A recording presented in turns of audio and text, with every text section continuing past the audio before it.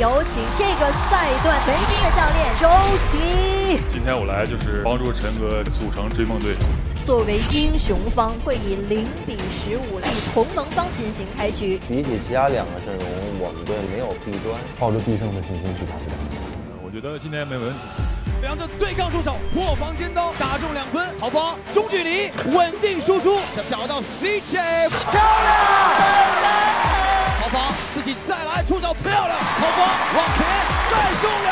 了一个十二比一的高潮。还说十五分不好打的，帮我打回来了。我也不敢看了。Right? You playing passive right now. They're being aggressive right now. Come on, don't play the score. I told you, don't play the score. Play the game. 对方前方上来，阿卜杜拉三分命中，再给到切进来的阿卜杜拉左侧强击再中，再次来到场上作为流转球员，阿卜杜拉给打疯了，挑战对方，阿卜杜拉再来两分，把优势领先到二十分。